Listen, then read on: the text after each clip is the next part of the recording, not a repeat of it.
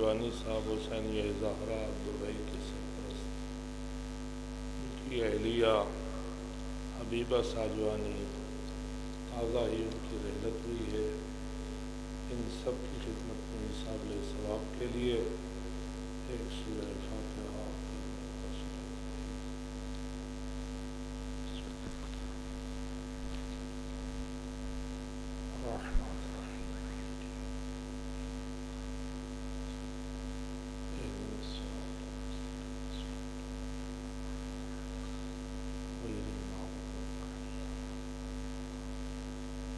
بسم الله لم يلد ولم يولد بسم الله الرحمن اللهم صل بسم الله الرحمن اللهم صل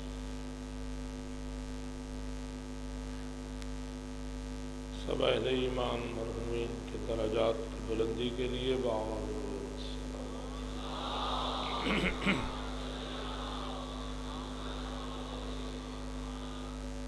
تعجیل ظہور حضرت قائم آل محمد علیہ السلام کے لیے باور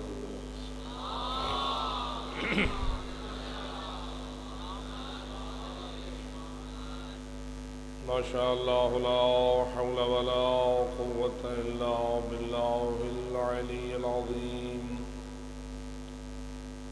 رب اشرح لي صدري ويسر لي أمري.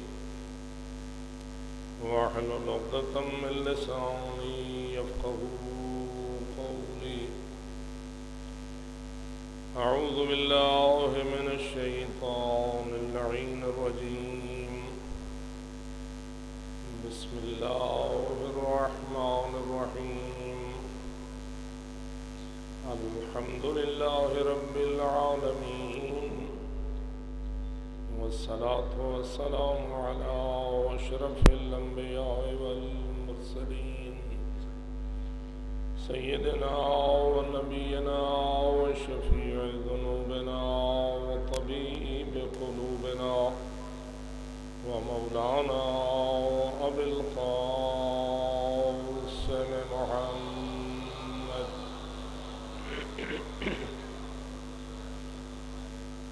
والصلاة والسلام على أهل بيته الطيبين الطاهرين المعصومين. الذين قال الله تعالى في حقهم إنما يريد الله ليذهب عنكم الرجس أهل البيت ويطهركم تطهيرا.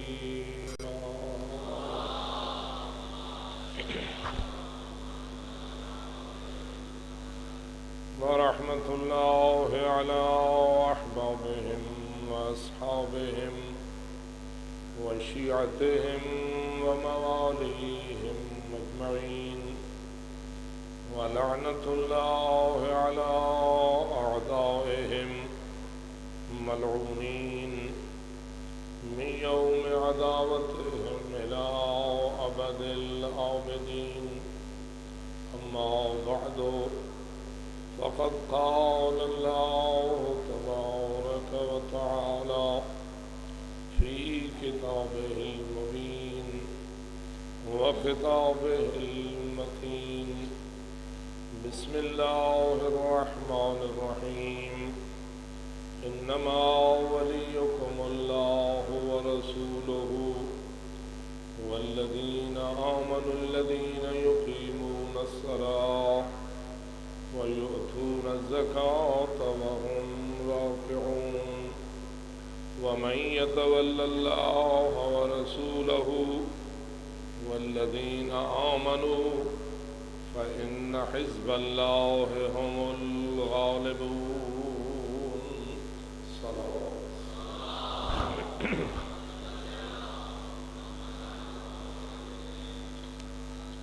برادران بزرگان، شکر ہے اس خالق کے لفظ لا یزال کا۔ جس نے ہمیں ایک مرتبہ پھر ایام محرم میں عزاداری جیسی بہترین بلکہ سب سے زیادہ مفید ترین عبادت کو انجام دینے کا موقع فراہم کیا۔ ہم ایمان رکھتے ہیں کہ آزاداری شہدائے کربلا فقط خود ایک عبادت نہیں، بلکہ ایسی عبادت ہے جس سے عبادات کے باغ میں بہار اگر دین اسلام کو ایک باغ سے تشبیح دی جائے اور اسلام کے دو حصے جن میں سے ایک کو اصول دین اور دوسرے کو فروع دین سے تعبیر کیا جاتا ہے۔ اصول دین میں توحید و عدل و نبوت و امامت و قیامت۔ اگر ان میں سے ہر ایک کو ایک شجر اور ایک درخت سے تشبیح دی جائے اور اس باغ میں شجر توحید، شجر عدل شجر نبوت، شجر امامت اور شجر عقید آخرت کے وجود کو تسلیم کیا جائے اور ادھر ایک درخت نماز کا، ایک درخت روزے کا، ایک درخت زکوٰۃ کا، ایک درخت حج کا، ایک درخت خمس کا، جہاد کا، امر بالمعروف کا، نہی ان المنکر کا طلّہ اور تبرہ کا، ماں باپ کی اطاعت کا، حق و صداقت کا، امانت و دیانت کا غرضے کے ہر نیکی کا بھی اگر ایک شجر تسلیم کیا جائے اور اس قسم کا ایک باغ اپنے ذہن میں آپ تصور کریں، تو اب آئیے ہم غور کریں کہ آزاداری مظلوم کربلا اس باغ کے لیے کیا حیثیت رکھتی ہے۔ تو مجھے یہ کہنے میں کوئی حرج نہیں کہ آزاداری مظلوم کربلا کی حیثیت اس پانی کی ہے جس کی وجہ سے پورا باغ سر سبز و شاداب ہو جاتا ہے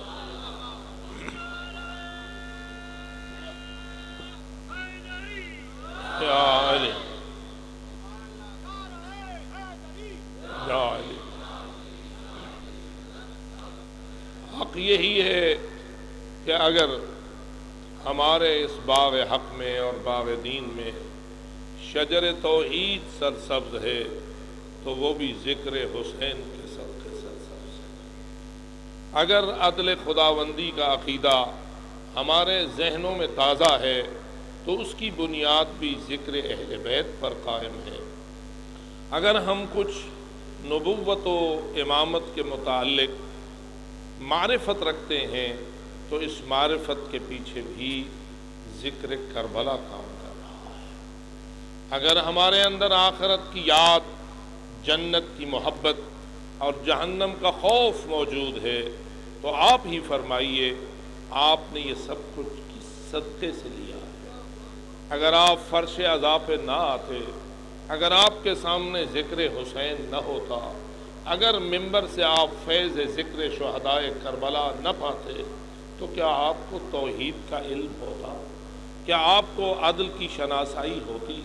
کیا آپ نبوت و امامت سے آگاہ ہوتے؟ کیا آپ کے قلب میں آخرت کی یاد موجود ہوتی؟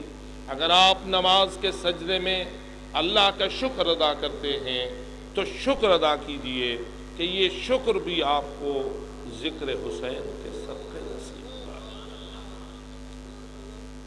حق یہی ہے، اگر کوئی بیٹا اپنے باپ کا تابے دار ہے اور اگر کوئی والد اپنی اولاد کے حقوق کو ادا کر رہا ہے، اگر بازاروں میں ہمیں کہیں دیانت نظر آتی ہے، امانت نظر آتی ہے، صداقت نظر آتی ہے، شرافت نظر آتی ہے، غیرت نظر آتی ہے، غرض کے جہاں جہاں دین کا نور نظر آتا ہے، اس کے پیچھے ازاداری کا شعور نظر آتا ہے۔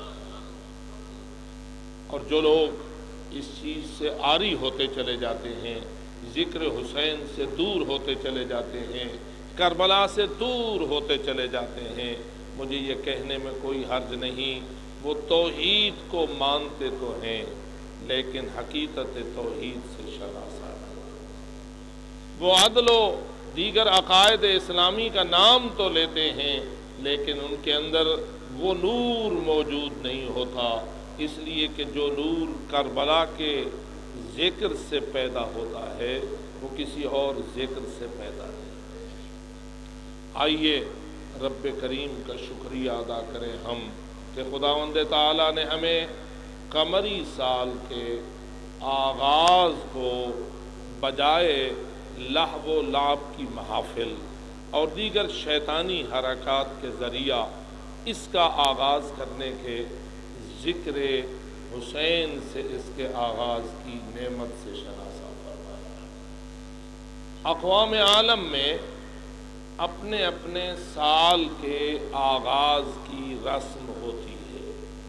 مشرقی ہوں یا مغربی، شمالی ہوں یا جنوبی، گورے ہوں یا کالے، کہیں بھی جتنی بھی قومیں زمین پر آباد ہیں، ہر ایک کا اپنا ایک سال ہے۔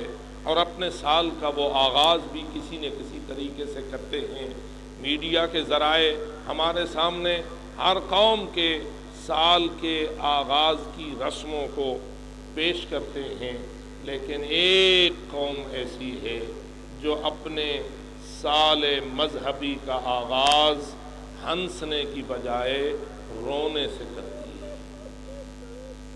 و لاب کی محافل کی بجائے گریا و بکا سے ہوتا ہے۔ شاید قرآن مجید نے یہ کہا ہے کہ فلیب حقو کلیلن ولیبکو کثیرہ تمہیں ہنسنا کم چاہیے اور تمہیں رونا زیادہ چاہیے۔ پھر رونے کے بھی اپنے مراتب ہیں، رونے کے بھی اپنے درجات ہیں۔ کوئی اپنے بیٹے کو روتا ہے، کوئی اپنے باپ کو روتا ہے، کوئی اپنے مال کو روتا ہے۔ کوئی اپنے خسارے کو روتا ہے، کوئی اپنے دکھ درد کو روتا ہے۔ ان سب آنسوؤں کی وہ قیمت نہیں ہے جو اس آنسو کی قیمت ہے جو غم حسین میں بہتا ہے۔ جو غم کربلا میں بہتا ہے۔ کیوں؟ اس لیے کہ یہ آنسو وہ ہے جو تاریخ ہمیں بتاتی ہے کہ سید الانبیاء محمد مصطفیٰ، احمد مشتبہ کی نورانی آنکھوں نے جو آنسو بہائے ہیں، ان آنسوؤں میں سے ایک قیمتی ترین آنسو وہ ہے جو اس وقت بھی بہایا گیا ہے جب مظلوم حسین کی ولادت باسعادت ہوئی۔ کیا یہ حقائق ہمارے سامنے موجود ہیں یا موجود نہیں ہیں کہ زہرائے بطول کی آغوش پاک میں جب یہ امام معصوم کی ولادت باسعادت ہو چکی اور تھے اور رسول اکرم آئے اور آپ نے اپنے اس فرزند ارجمند کو گود میں لیا، دائیں کان میں آزان کہی، بائیں کان میں اقامت کہی، لیکن پھر بطول عذرا فاطمت الزہرا سلام اللہ علیہ نے یہ دیکھا کہ رسول اکرم کی آنکھیں آنسو برسانے لگیں۔ برستے ہوئے آنسوؤں کو جب بی بی زہرا نے دیکھا تو پوچھا، بابا، آپ میرے فرزند کو آغوش میں لے کے رونا کیوں شروع ہو گئے؟ تو جواب میں رسول اکرم نے یہی فرمایا، اے میری بیٹی، میں تیرے اس فرزند کی شہادت کو یاد کر کے رو رہا ہوں۔ میں تیرے اس فرزند ارجمند کے شہادت کے اوقات کو یاد کر کے رو رہا ہوں۔ ایک دن ایسا آئے گا کہ جب میری امت کے ہاتھوں تیرا یہ فرزند شہید کر دیا جائے گا۔ بعض روایات یہ کہتی ہیں کہ کہہ رہے تھے مولا، حضرت رسالت میں آپ کہ یہ جبریل میرے پیچھے کھڑے ہوئے ہیں اور مجھے بتا رہے ہیں۔ اے میرے رسول، آپ کا یہ فرزند میدان کربلا میں تیری امت کے ہاتھوں شہید کر دیا جائے گا۔ معلوم ہوا سید الانبیاء نے آنسو بہائے۔ جب سید الانبیاء آنسو بہائے، تو کیا شہادت سے پہلے رسول اکرم اگر آنسو بہائیں، کیا ان آنسوؤں کو سنت پیغمبر قرار نہیں دیا جا سکتا؟ اگر دین قرآن اور سنت سے عبارت ہے، اگر ہم یہ ایمان رکھتے ہیں اور پورا عالم اسلام اس پہ یقین رکھتا ہے کہ دین نام ہے قرآن و سنت کا۔ اور سنت کس کی؟ سنت حضرت سید الانبیاء کی۔ سنت حضرت رحمت للعالمین کی۔ اور اگر سنت پیغمبر اکرم دین ہے، تو معلوم ہوتا ہے شہادت حسین سے پہلے اگر رسول کا آنسو بہانا سنت ہے تو شہادت کے بعد تو امت رسول کا اس شہادت آنسو بہانا بدرجہ اولا سنت اور عبادت قرار دینا چاہیے۔ اور یہی وجہ ہے میرے عزیز دوستو، ہمارا یہ ایمان ہے کہ اسلام اگر زندہ ہے تو حسین کے ذکر سے زندہ ہے، مظلوم کے تذکروں سے زندہ ہے۔ اے اس عظیم مرکز میں مجلس ذکر حسین کے لیے تشریف لانے والوں اس کو ایک رسم کوہن سمجھ کے نہ آیا کرو۔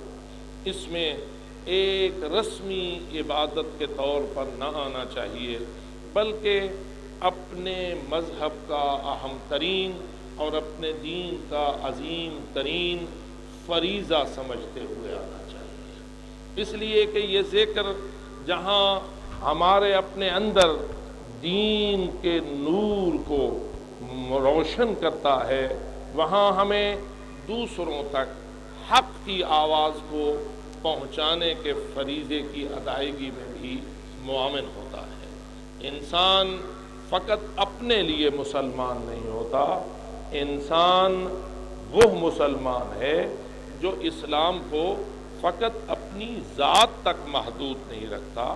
بلکہ اسلام کو دوسروں تک پہنچانا اور حق سے دوسروں کو شناسا کرنا، یہ بھی اپنا فریضہ سمجھتا ہے۔ اگر آپ غور کریں، اسلام کا بانی، اسلام کا مروج، اسلام کا مبلغ اول حضرت جناب محمد مصطفیٰ صلی اللہ علیہ وآلہ وسلم۔ ہم اس بات پر ایمان رکھتے ہیں، میری گفتگو کا موضوع اسلام اور حقیقت ولایت ہے اور انشاءاللہ اسی حوالے سے یہ چند مجالس جو میرے مقدر میں آئیں گی، آپ تک پہنچانے کی کوشش کروں گا۔ آئیے غور کیجیے، اسلام اللہ کا دین ہے۔ اسلام ہمارا بھی دین ہے۔ ہمارا دین ہم نے بنایا ہے یا اللہ نے بنایا ہے۔ بہت ساری چیزیں ایسی ہوتی ہیں جو ہماری شمار ہوتی ہیں، اس لیے کہ ہم نے انہیں بنایا ہوتا ہے۔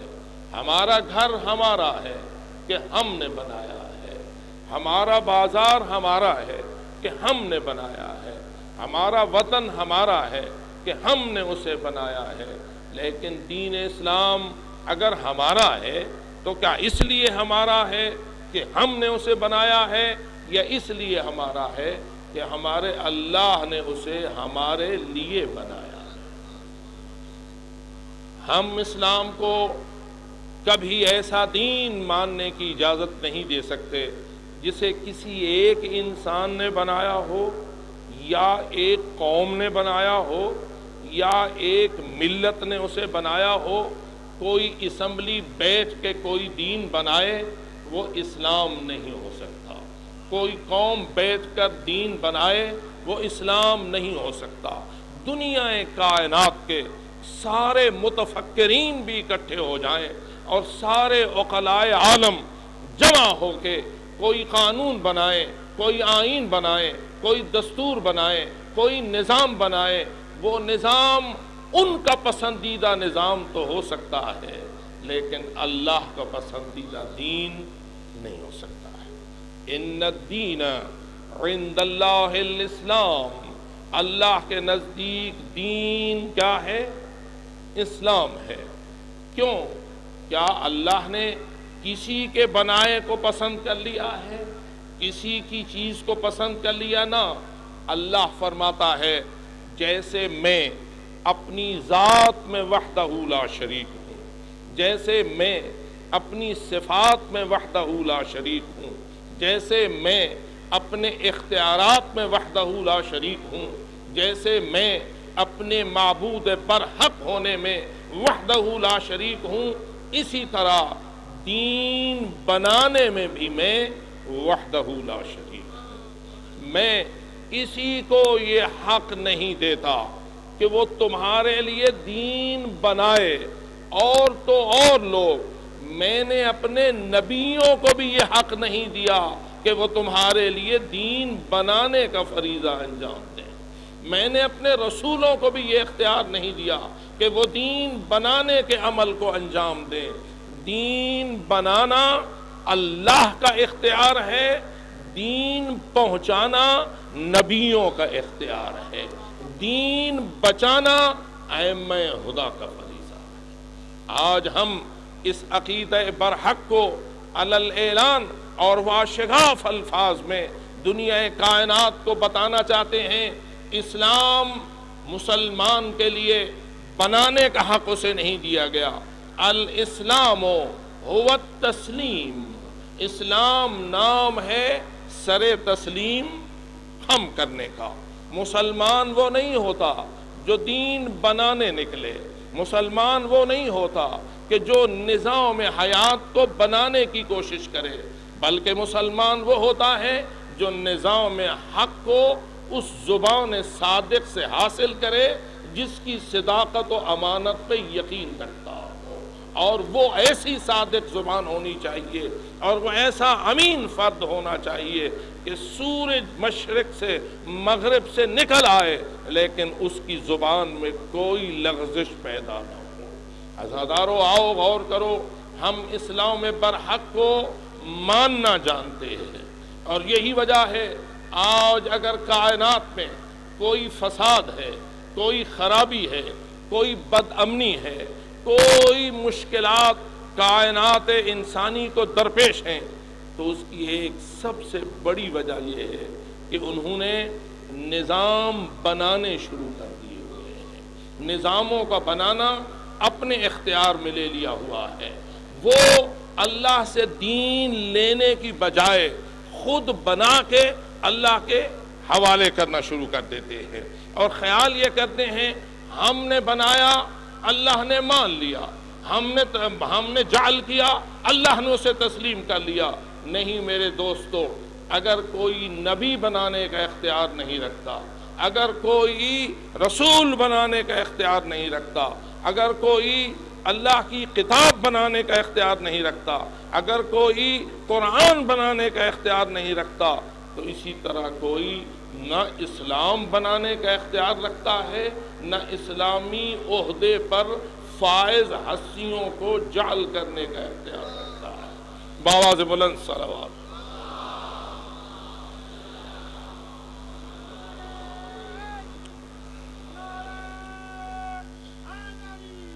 یا علی۔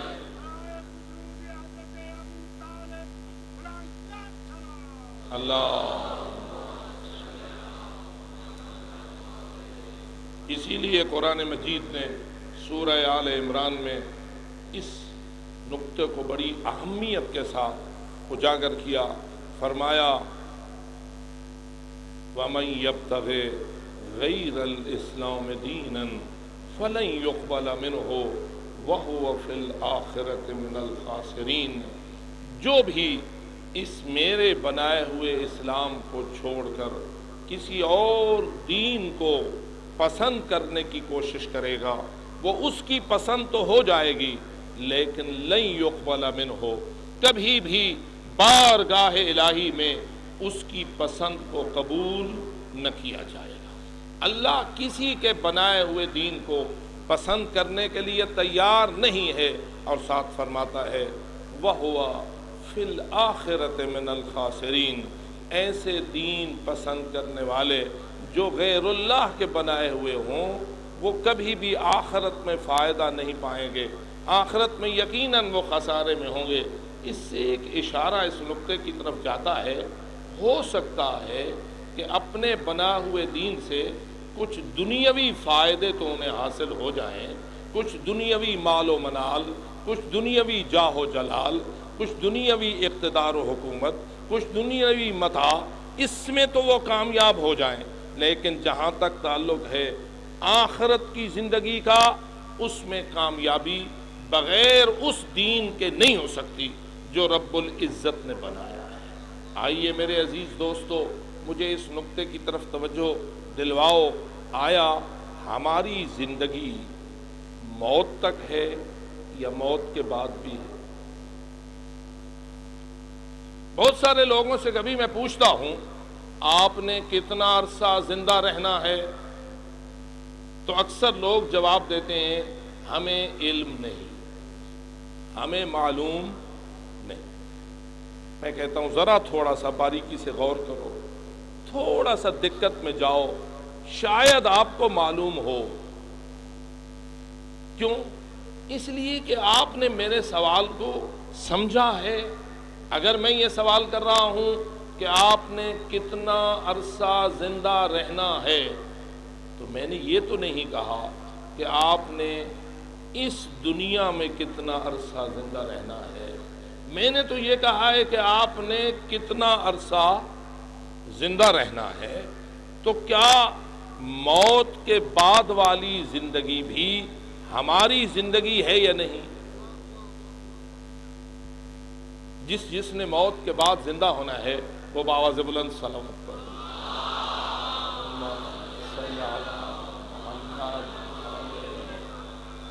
کیا فقط مسلمانوں نے زندہ ہونا ہے یا غیر مسلموں نے بھی زندہ ہونا ہے؟ تو جواب یہ ہے کہ جس جس کے لیے زندگی ہے، اس اس کے لیے موت ہے، اور جس جس کے لیے موت ہے، پھر اس کے لیے دوسری زندگی۔ ہے دوسری زندگی کتنے عرصے کی ہے؟ تھوڑا سا سوچئے اور ایک سال بات پڑھیے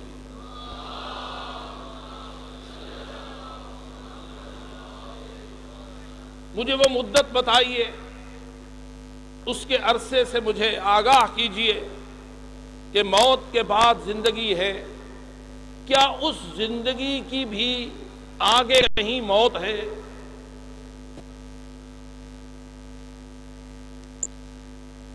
ایک ارب سال بعد،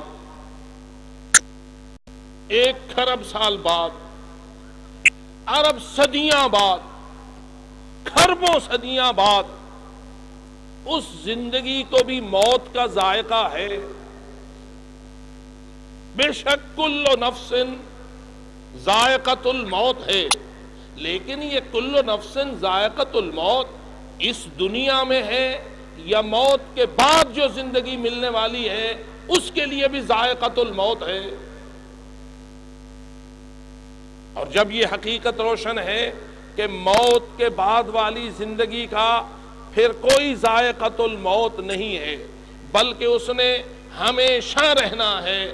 اور اس کی کہیں حد نہیں ہے، اس کا کہیں خاتمہ نہیں ہے، اس کی کہیں بھی انتہا نہیں ہے۔ تو اے حضرت انسان، موت تک والی زندگی تک سوچنا، یہ تیری دانائی نہ ہو۔ موت تک کی زندگی تک کے لیے غور کرنا، یہ تیری دانش مندی نہ ہوگی۔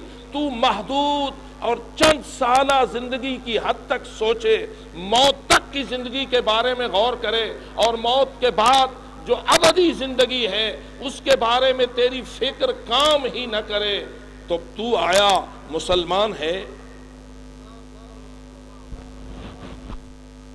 بالفاظ دیگر اسلام اور کفر کے درمیان ایک بنیادی فرق یہ ہے کہ کافر زندگی مانتا ہے موت تک۔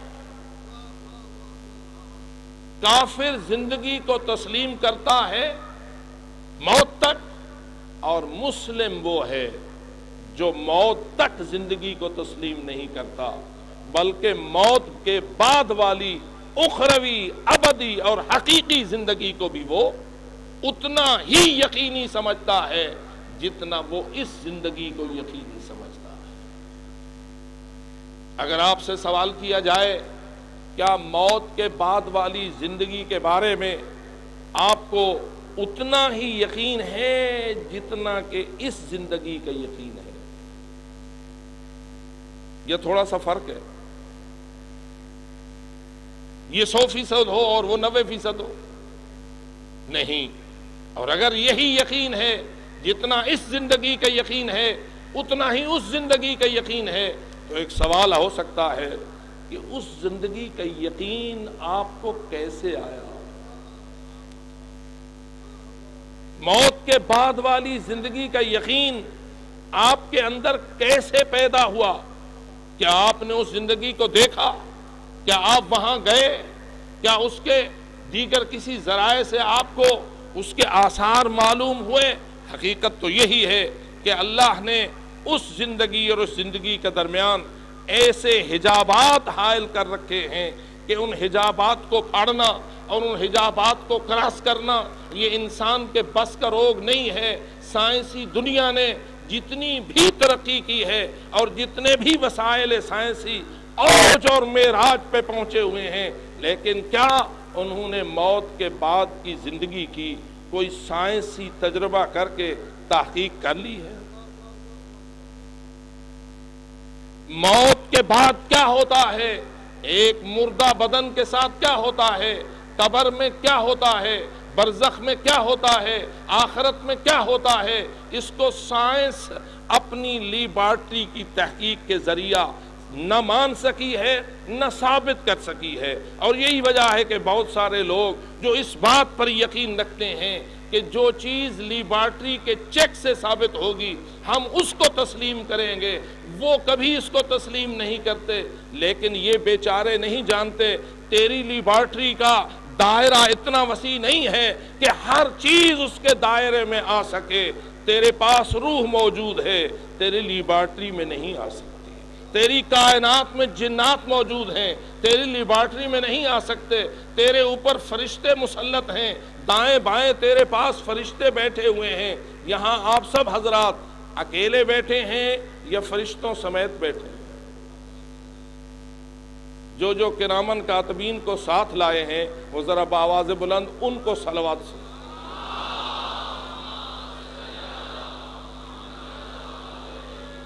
کرامن کاتبین بھی سلوات پڑھتے ہیں یا نہیں؟ ان اللہ و ملائکتہ یسلون علی النبی۔ یا ایوہ الذین آمنوا صلو علیہ وسلموا تسلیما۔ بے شک اللہ بھی سلوات بھیجتا ہے۔ اللہ کے کتنے فرشتے سلوات بھیجتے ہیں؟ وَمَلَائِكَتَهُ پچاس فیصد فرشتے بھیجتے ہیں یا سو فیصد؟ تو جو آپ کے ساتھ بیٹھے، وہ بھی سلوات بھیجتے ہیں یا نہیں؟ لیکن کیا یہ کسی کی لیبارٹری کے اختیار میں ہے؟ کسی ایک فرشتے کو کوئی سائنسدان صاحب پکڑ کے اپنی لیبارٹری میں لے جائے اور اس کو چیک کرے، تو نہیں فرشتہ تیرے اختیار میں نہیں، جنات تیرے اختیار میں نہیں، ارواح تیرے اختیار میں نہیں، جو اسی کائنات میں ہیں، وہ تیرے اختیار میں نہیں۔ تو تو عالم آخرت کو اپنے اختیار میں کیسے دے سکتا معلوم ہوا سائنس بہت بڑا علم ہونے کے باوجود بھی محدودیت رکھتی ہے۔ سائنسدان بہت کچھ ہونے کے باوجود بھی اپنی محدودیت سے نہیں نکل سکتا۔ آ، اس پہ ایمان لے آ، تو جو تجھے اس عالم کی خبریں دیتا ہے کہ جس عالم میں تو نے جانا بھی ہے اور اس کے بغیر تجھے اس عالم کا علم حاصل ہی نہیں ہو سکتا ہے۔ اور یہی وجہ ہے کہ تیرے رب نے اپنے اور تیرے درمیان ایسی ہستیوں کو وسیلہ بنایا ہے، ایسی ہستیوں کو واسطہ بنایا ہے جو تجھے تمام عوالم کے متعلق آگاہ کر سکتے ہیں۔ اور اس کی دلیل اتنی ہی کافی ہے کہ رب العزت اپنے بارے میں فرماتا ہے الحمد للہ رب العالمین، حمد ہے اس اللہ کے لیے جو سارے جہانوں کا رب ہے۔ اور پھر اس وسیلے کے متعلق فرماتا ہے، جسے اس نے اپنے اور تمہارے درمیان وسیلہ بنایا ہے کہ وما ارسلناکا اللہ رحمت للعالمین، جو لفظ عالمین اللہ نے اپنی ربوبیت کے لیے استعمال کیا ہے، وہی لفظ عالمین رب کائنات نے اس رحمت للعالمین کے لیے استعمال کیا ہے۔ اور گویا ہمیں یہ سبق دیا ہے، جہاں جہاں تک اللہ کی ربوبیت کا دائرہ جاتا ہے، وہاں وہاں تک مصطفیٰ کے رحمت ہونے کا دائرہ جاتا ہے۔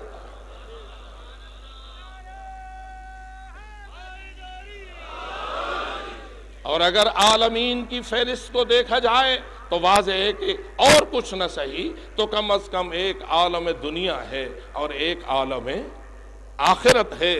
عالم دنیا تو تیرے سامنے ہے، لیکن عالم آخرت تجھ سے چھپا ہوا ہے۔ اللہ نے تجھے ایسی ہستیاں عطا فرمائی ہیں اور انہی کو لائے کے سلوات فرمایا ہے کہ جو وہ فقط اس عالم سے مربوط نہیں ہیں۔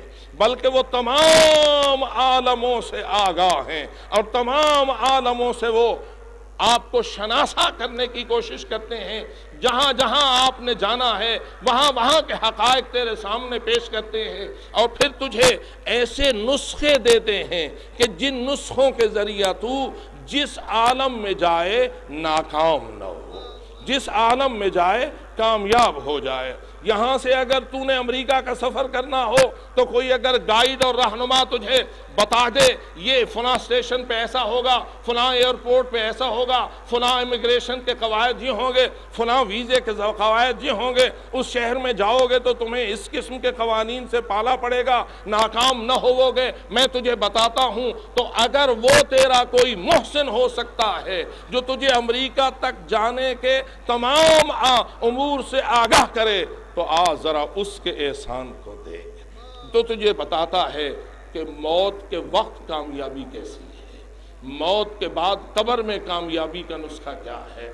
قبر کے بعد برزخ کی ہر منزل کی کامیابی کا نسخہ کیا ہے؟ برزخ کے بعد محشر میں کامیابی کا نسخہ کیا ہے؟ محشر کے بعد پل سرات سے گزرنے کے نسخے کی کامیابی کیسی ہے؟ اور فقط وہ نسخے ہی نہیں دیتا، بلکہ ایسی ہستیوں کا تعارف کرواتا ہے۔ جو ہستیاں تجھے جگہ جگہ مدد کرنے کے لیے آئیں گی اور تیرا ہاتھ پکڑیں گی اور تجھے جہنم سے بچائیں گی اور جنت کی طرف لے جائیں گی، یہی تو وجہ ہے کہ امام علیہ السلام فرماتے ہیں، تو ہمارا بن جا، پھر دیکھ ہم تجھے محشر میں پکڑ کر جہنم سے بچا کر جنت تک پہنچانے کی ذمہ داری لیتے ہوئے نظر آتے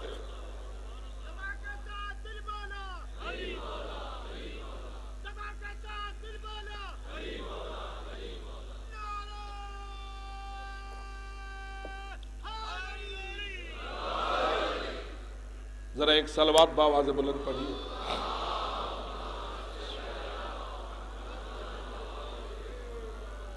سلوات میں آپ نے اللہم صلی علی محمد و آل محمد پڑھا ہے۔ قرآن کہتا ہے، ان اللہ و ملائکتہ یسلون علی نبی ساتھ و آل ہی ہے۔ پریشان بھی نہ ہونا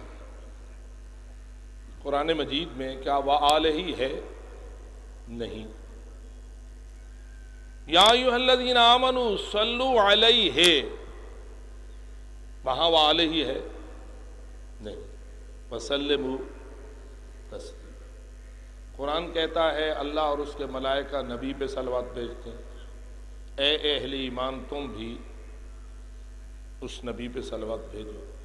اور سلام بھیجو جیسے سلام بھیجنے کا حق ہے۔ اور حکم کن کو ہے؟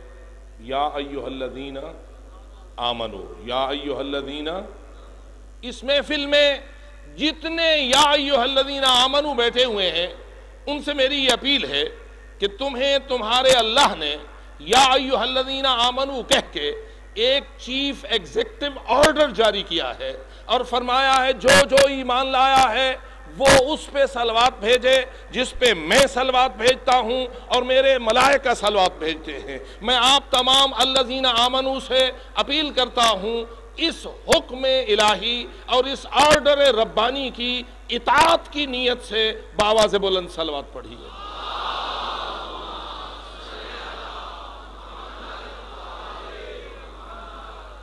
یہ ویسے آپ نے رسمی سلوات پڑھ دی یا اس حکم کی تابے داری کرتے ہوئے؟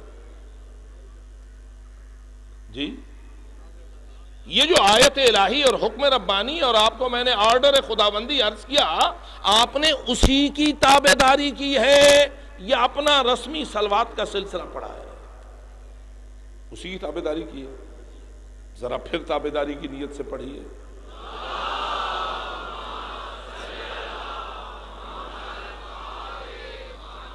کیا قرآن مجید میں معال محمد کا تذکرہ ہے؟ میرے خیال میں خاص مومن پریشان ہو رہے ہیں۔ کیا آیت الہی میں تحریف ہوئی ہے؟ کیا قرآن مجید کی آیت نازل کچھ اور الفاظ سے ہوئی تھی اور ہم تک کچھ اور الفاظ سے پہنچی ہے؟ کیا ہم میں سے کسی کا یہ کوئی ایمان ہو سکتا ہے کہ قرآن میں کہیں کوئی کمی یا بیشی ہوئی ہے؟ ہم اس عظیم مجلس کے توسط سے پوری کائنات کو اپنے اس عقیدہ مذہب اہل بیت سے اور عقیدہ اہل تشیع سے واضح طور پر آگاہ کرنا چاہتے ہیں کہ ہم وہ ہیں جو قرآن مجید کو ہر قسم کی تحریف سے پاک مانتے ہیں۔ ہم قرآن مجید میں کسی کمی کے قائل نہیں ہیں۔ ہم قرآن مجید میں کسی بیشی کے قائل نہیں ہیں۔ ہماری کسی مسجد میں چلے جاؤ اٹھا لو قرآن، وہی قرآن ہوگا جو کسی اور کے چھاپے خانے سے چھپا ہو۔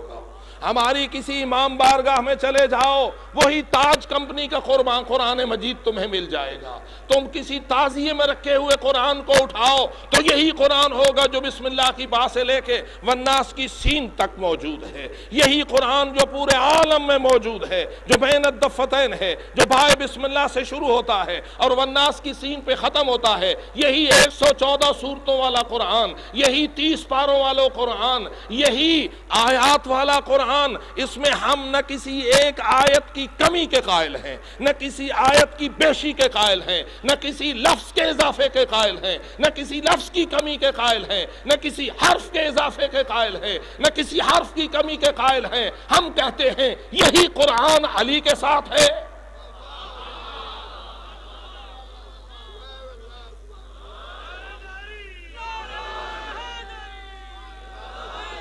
اور علی اسی قرآن کے ساتھ ہے۔ ذرا تھوڑا سا مجھے اس پر زور دینے کی ضرورت ہے۔ اس لیے کہ ہمارے خون سے ہولی کھیلنے والے بچوں کو جس مقصد کے ساتھ اور جس تربیت کے ساتھ آمادہ کیا جاتا ہے اور جو کچھ ان کے تربیت گاہوں میں انہیں سمجھایا جاتا ہے، اس میں یہ کہا جاتا ہے کہ یہ لوگ وہ ہیں جو قرآن مجید کی تعریف کے قائل ہیں اور ان کو قتل کرنا ہمارے لیے واجب ہو چکا ہوا ہے۔ میں واضح طور پر ان کے والدین کو، ان کی ماؤں کو، ان کے بھائیوں کو، ان کی بہنوں کو، ان کے بیٹوں کو، ان کے استادوں کو، ان کے مفتیوں کو، ان کے مربیوں کو، ان سب کو علل اعلان اور واشگاف الفاظ میں ذمہ داری کے ساتھ کہنا چاہتا ہوں۔ جھوٹ بولنا بند کر دو۔ اتحام تراشی سے باز آ جاؤ۔ بہتان مت لگاؤ۔ مذہب اہل بیت کے ماننے والوں کے خلاف زبان درازی مت کرو۔ ہم باواز بلند کہتے ہیں، ہمارا قرآن چالیس پاروں کا نہیں ہے، کسی اور کا تھا۔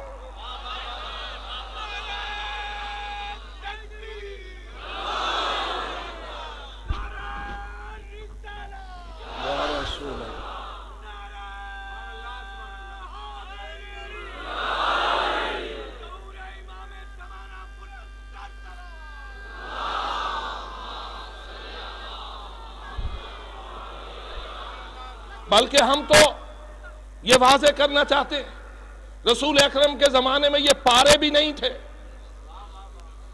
یہ تیس پاروں کی تقسیم کسی نے اپنی سہولت کے لیے کی ہے۔ اس سے زیادہ شاید میں گفتگو نہ کروں تو بہتر ہوگا۔ کسی اور نے اپنی سہولت کے لیے کی ہے۔ مجھے نہیں پتا کہ کس کو تیس راتوں کے لیے قرآن پڑھنے کی ضرورت پڑی اور اس نے اپنی نماز میں پاروں کی تقسیم نبی اکرم کی طرف سے نہیں ہے، پاروں کی تقسیم خدا علیہ مسلاط و اسلام کی طرف سے نہیں ہے۔ ہاں صورتوں میں تقسیم اللہ کی طرف سے ہے۔ یہ ایک سو چودہ صورتیں اللہ کی طرف سے ہیں اور ان صورتوں کے نام بھی اللہ کی طرف سے ہیں ان صورتوں کی ترتیب بھی اللہ کی طرف سے ہے ہمارے تو ائمہ خدا علیہ والسلام نے اور فقہا نے یہ بات اعلان کہی ہے کوئی بھی صورت اگر تم اس ترتیب میں معمولی سی کمی اور بیشی کر کے پڑھو گے تو تمہاری نماز باطل مثلا سورہ فاتحہ ہے، اس کی یہ ترتیب ہے نا، بسم اللہ الرحمن الرحیم الحمدللہ رب العالمین، الرحمن الرحیم، مالک یوم الدین، اگر کوئی شخص اس کو یوں پڑھ دے الحمدللہ رب العالمین، مالک یوم الدین، الرحمن الرحیم۔ اللہ کے نام تو ہیں نا سارے۔ رب العالمین بھی اللہ کا نام ہے۔ مالک یوم الدین، اللہ ہے، رحمان، اللہ ہے، رحیم۔ اب اگر اس ترتیب کی بجائے الحمدللہ رب العالمین کے بعد مالک یوم الدین کہہ دیا جائے، پھر الرحمن الرحیم کہہ دیا جائے، تو اللہ کے اسماء گرامی تو اسی طرح رہے، لیکن ترتیب میں تھوڑا سا فرق آیا۔ اگر کوئی سورہ فاتحہ کو اس طرح پڑھ لے، تو ہمارے فقہا کا بھی اعلان ہے احمد خدا کا بھی یہی ارشاد ہے، اور ہمارے مکتب کا متفقہ فیصلہ ہے کہ کوئی شخص اگر سورہ فاتحہ کی ایک آیت میں اسماء الہی میں بھی تھوڑی سی ترمیم کرے، الرحمن الرحیم کی بجائے جائے۔ الرحیم الرحمن پڑھ دے۔ تو اس کی نماز باطل ہے۔ کیوں؟ اس نے ترتیب میں اپنی مرضی کو دخیل کیا۔ ہے ترتیب میں اپنی خواہش کو دخیل کیا ہے۔ پس جب ہم ترتیب آیات میں بھی معمولی سی تبدیلی کی اجازت نہیں دیتے، تو وہ کون مفتی ہے جس کو یہ حق حاصل ہے؟ کہ خود کش بمباروں کی تربیت کرتے ہوئے انہیں یہ سکھائے کہ یہ لوگ قرآن مجید میں کسی قسم کی ترمیم کے قائل ہیں۔ اسی لیے ہم اس بات پر ایمان رکھتے ہیں کہ ان اللہ و ملائکتہ یسلون علی النبی۔ یا ایوہ الذین آمنوا صلو علیہ وسلموا تسلیمہ والی آیت ایسے ہی نازل ہوئی۔ ایسے ہی رسول اکرم نے اپنے ممبر پہ تلاوت فرمائی، ایسے ہی کتاب وحی نے اسے لکھا، ایسے ہی اسے محفوظ کیا گیا، ایسے ہی چاردہ معصومین کے زمانے میں رہی اور چودہ سو سال کا سفر کر کے ہم تک پہنچی۔ حکم تو تھا نبی پر سلوات بھیجنے کا، حکم تو تھا نبی پر سلام بھیجنے کا، لیکن مجھے معلوم نہیں، فقط قوم شیعہ ایسی نہیں پڑتی بلکہ کائنات کا ہر مسلمان سلوات پڑھتا ہے تو کیسے پڑھتا ہے؟ صلی اللہ محمد. خوب چلو بعض برادران وعلا آل محمد پڑھ دیتے ہیں، ہمیں اس سے کوئی فرق نہیں پڑتا۔ اگر کوئی یوں کہہ دے اللہ، سلوات بھیج، محمد مصطفیٰ پر اور ان کی آل پر، تو یہ ایک طریقہ ہے۔ اگر کوئی کہے، اے اللہ، سلوات بھیج، محمد اور ان کی آل پر یعنی ایک ہے جو لفظ پر کو دو مرتبہ استعمال کرتا ہے، اور ایک ہے جو لفظ پر کو، کیا خیال ہے، معنی میں کوئی فرق پڑے گا؟ مفہوم میں تو کوئی فرق نہ پڑے گا نا؟ اس لیے ہم کوئی ان پہ اعتراض نہیں کرتے۔ تمہاری مرضی ہے اللہ صلی علی محمد و آل محمد پڑھو، یا اللہ صلی علی محمد وعال محمد پڑھو۔ سوال یہ ہے کہ والا لگا کے بھی اگر آل محمد پہ پڑھتے ہو تو قرآن نے تو آپ کو فقط نبی اکرم پر سلوات پڑھنے کا آرڈر جاری کیا تھا۔ اے برادران، تم نے کیوں آل محمد پر سلوات پڑھنا شروع کر دیا؟ اور کیوں حضرت جناب امام شافی نے یہ کہہ دیا، اے آل محمد، اے اہل بیت رسول، تمہاری عظمت کے لیے اتنا کافی ہے کہ ملم یسلی علیکم لا صلاة لا جو تم پہ سلوات نہ بھیجو اس کی نماز نماز نہیں۔ اور واضح ہے کہ کوئی بھی مسلمان اپنی تشہد میں جو سلوات بھیجتا ہے، اس سلوات میں آل محمد کو خارج نہیں کرتا۔ باہر نماز سے جو سلوات بھیجیں، بے شک کہتے رہیں صلی اللہ علیہ وسلم۔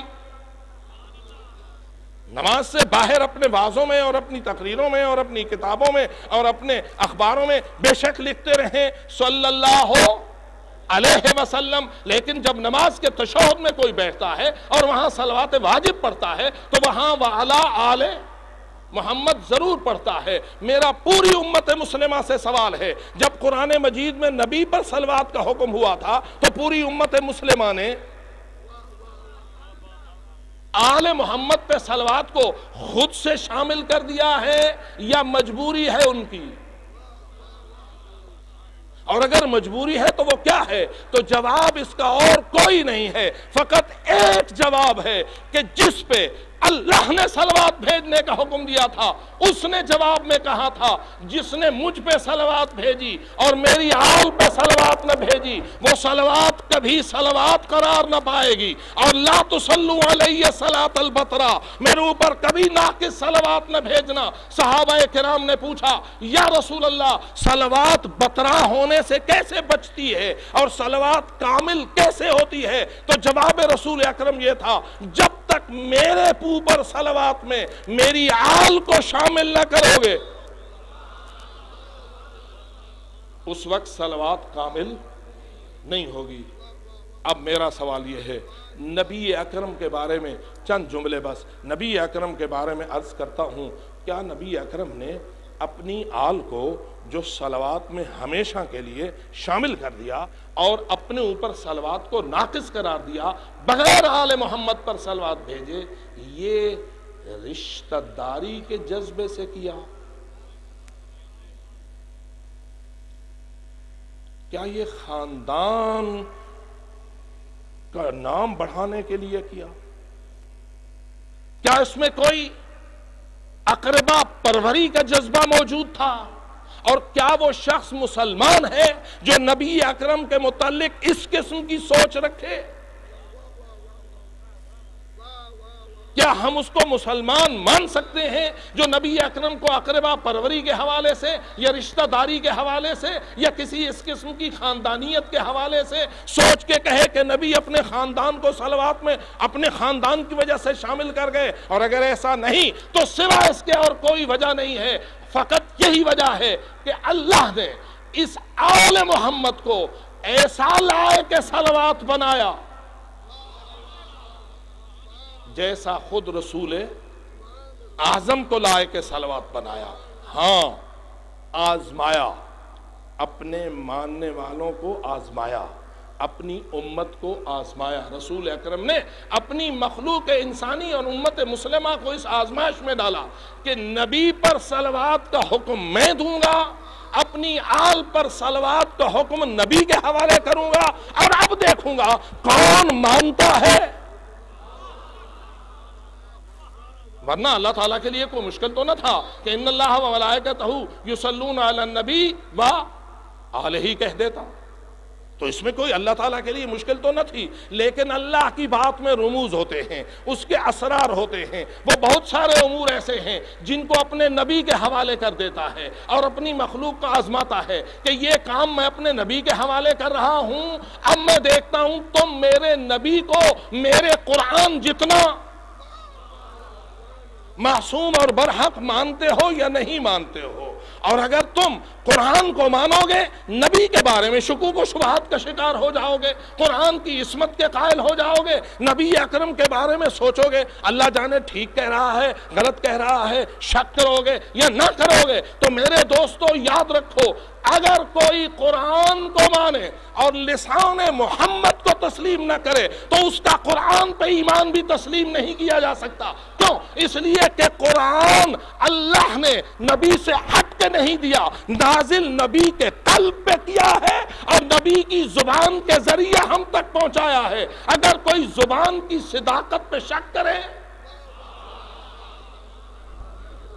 اور قرآن قرآن کا اعلان کرے، قرآن قرآن کے نعرے لگائے۔ جیسے کہ آج بہت سارے لوگ ہیں، بلکہ میں بہت سارے نیوڈ لائٹ تعلیم یافتہ لوگوں کو دیکھتا ہوں۔ جب بھی کوئی اسلام کا مسئلہ سامنے آتا ہے تو کہتے ہیں جی قرآن میں کہاں لکھا ہوا ہے؟ کبھی آپ کو معاشرے میں یہ چیز نظر آئی ہے؟ پوچھتے ہیں لوگ کہ قرآن مجید میں کہاں لکھا ہوا ہے۔ اگر کہا جائے کہ رسول اکرم کا فرمان ہے۔ نہیں جی نہیں، چھوڑو۔ رسول اکرم کی حدیث کو چھوڑو۔ قرآن میں کہاں لکھا ہوا ہے؟ تو معذرت کے ساتھ مجھے یہ کہنے کی اجازت دو۔ اگر تجھے رسول کی حدیث جھوٹی نظر آتی ہے، تو تجھے رسول کا قرآن کیسے سچا نظر آتا ہے؟ زبان تو ایک ہی ہے نا، لسان تو رسول اکرم کی ہے نا، یا تو اللہ قرآن علیحدہ سے نازل کر دیتا اور وہ تجھے دوسرے راستے سے ملتا۔ نہیں، اللہ نے راستہ ایک ہی بنایا ہے۔ اسی راستے سے تجھے قرآن ملا ہے، اسی راستے سے تجھے دین کے دیگر تمام فرامین ملے ہیں۔ تجھے قرآن حق نظر آئے اور باقی سارے فرامین نہ حق نظر آئے۔ تو معلوم ہوا، تو قرآن کو بھی نہیں مانتا۔ اور جو لوگ قرآن کو نہیں مانتے تھے ظاہر میں کچھ کہتے تھے، باطن میں کچھ تھے، میدان کربلا میں انہی کی حقیقتیں روشن ہوئیں۔ میدان کربلا میں انہی کی حقیقتیں روشن ہوئیں۔ امام حسین علیہ السلام سر پہ قرآن کو اٹھائے ہوئے تھے اور فرما رہے تھے، کیا یہ وہی قرآن نہیں جو میرے جد رسول اکرم پہ نازل ہوا تھا؟ اور کیا یہ وہی امامہ نہیں جو میں نے اپنے سر پہ لیا ہوا ہے؟ کیا یہ رسول اکرم کا نہ تھا؟ کیا یہ وہی ابا اور تبرکات رسول نہیں جو میں نے اپنے بدن پہ سجائے ہوئے ہیں؟ لیکن لوگوں مجھے بتاؤ تو صحیح، آخر میرا قصور کیا ہے؟ میرا جرم کیا ہے؟ تم کس جرم میں مجھے قتل کرنے کے لیے جمع ہو گئے ہو؟ ازہدارو آؤ حسین مظلوم، تیری عظمتوں کو سلام ہے۔ تو نے اسلام کی عظمتوں کو چار چاند کرنے کے لیے تو نے دین کی حقانیت کو روشن کرنے کے لیے، اے میرے مولا، اے میرے آقا، اے میرے مولا، آپ نے کیا کیا کیا؟ آؤ، آج پہلا دن ہے، تھوڑا سا مدینہ منورہ چلتے ہیں۔ ولید کے دربار سے واپس آ گئے ہیں۔ مثلی لا یبائیو مثلا کہہ چکے ہیں۔ اور اب فیصلہ کر لیا ہے کہ مجھے مدینے میں نہیں رہنا ہے۔ جانا ہے۔ جب فیصلہ ہوا، حضرت ام المومنین، ام سلمہ کو معلوم ہوا۔ میرے لخت جگر حسین نے مدینہ چھوڑنے کا فیصلہ کیا ہے۔ آئی، اپنے اپنے لال سے کہا، اے میرے حسین، کیا آپ مدینہ چھوڑنے کا فیصلہ کر چکے؟ کہا ہاں میں مدینہ چھوڑ رہا ہوں؟ کہا، اے میرے لاڈلے اگر مدینہ چھوڑنا ہے، ہر طرف جانا، عراق نہ جانا، ہر طرف جانا، عراق نہ جانا۔ کہا، کیوں میری اماں؟ کہا، اس لیے کہ میں نے تیرے نانا رسول سے سنا تھا۔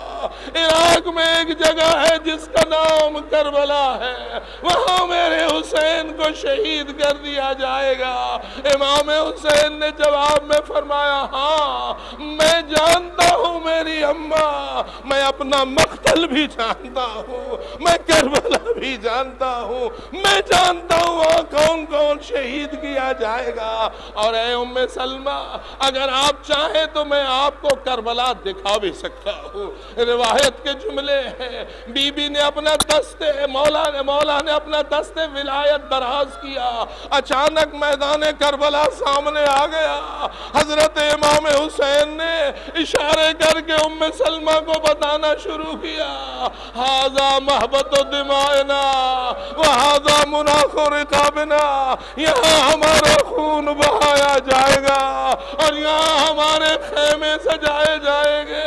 ازاداروں مجھے نہیں سمجھ آتی کہ ایک ماں جیسی محبت رکھنے والی ام سلوہ کیسے اپنی آنکھوں سے یہ دیکھ رہی ہوگی کہ یہاں میرا حسین مارا جائے گا اور یہاں بیویاں اس منظر کو دیکھ رہی ہوں گی۔ لیکن اتنے میں میرے مولا حسین نے اس خاک کربلا کی ایک مٹھی کو بھرا اور حضرت ام سلمہ کے حوالے کرتے ہوئے فرمایا، اے اماں، میرے نانا نے بھی آپ کو خاک دی ہوئی ہے، جسے آپ نے ایک بوتل میں محفوظ کیا ہوا ہے، میری اس امانت کو بھی محفوظ کر لینا۔ اور میں چلا جاؤں گا، تمہیں کون بتائے گا میرے ساتھ کیا ہوا؟ اس خاک کو دیکھتی رہنا۔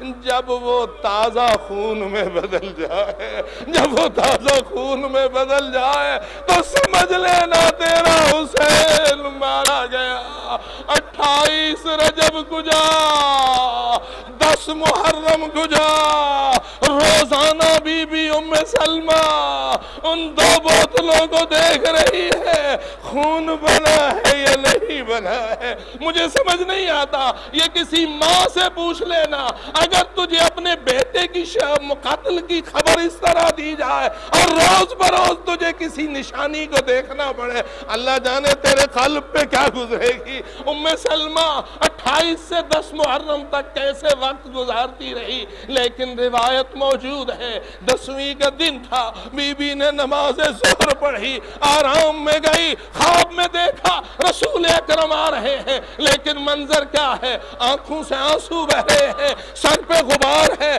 ریش پہ غبار ہے، روتے ہوئے آ رہے ہیں۔ وہ رسول جن کی زلفوں میں خوشبو رہتی تھی، اور امامے کے بغیر باہر نہ نکلتے تھے۔ آج جو ام سلمہ نے یہ منظر دیکھا، روتے ہوئے پوچھنے لگی، یا رسول اللہ، آپ کی یہ حالت کیوں ہے؟ تو جواب میں رسول اکرم کا کہنا یہی تھا، اے ام سلمہ، میرا حسین مارا گیا، میرا حسین مارا گیا۔ ام سلمہ کی چیخ نکلی، بیدار ہوئی، خاک کو دیکھا، وہ دمن عبیدہ خون بنا ہوا تھا۔ آواز آئی واہ حسینہ واہ ولدہ جب بی کی چیخیں بلند ہوئیں، محلے بنی ہاشم کی بیبیاں بوڑھی بیبیاں جو اس کا اس خاندان کے گھروں میں موجود تھیں۔ آئیں پوچھا ہاں بی بی کیوں رو رہی ہو۔ کہا، وہ دیکھو، خون میں بدل گئی ہے خاک۔ اور رسول خواب میں مجھے ملے سنو گے ازادارو یہ سب بیبیاں ماتم کرتے ہوئے روزے رسول کی طرف روانہ ہوئی گویا جلوس تھا ماتم دار داروں کا اور جا رہا تھا روزے رسول کی جانب۔ بس آخری جملے۔ پوچھو گے وہ کون سی بیبیاں تھیں جو اس وقت بھی مدینہ میں موجود تھیں؟ تو ازادارو ہاں ان میں ایک وہ بیوی بھی تھی جس کو ام البنین ان میں ایک بیوی وہ بھی تھی جسے ام البنین کہتے ہائے ام البنین، جس کے چار جوان بہنیں۔ میدان کربلا میں چلے گئے تھے۔ جنت البقی میں بیٹھ کر روتی تھی اور کہتی تھی لوگوں مجھے ام البنیل لگا کرو۔ الا لعنت اللہ علی القوم الظالمین۔ وسيعلم الذين ظلموا أي منقلب